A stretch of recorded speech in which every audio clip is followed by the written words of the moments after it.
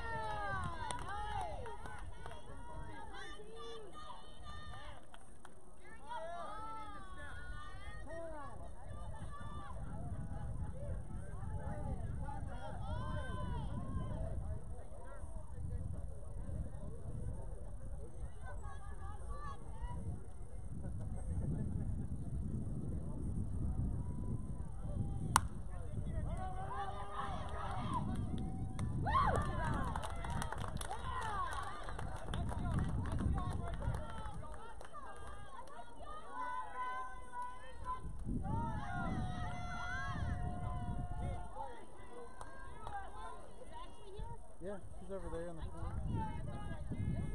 She's probably focused here.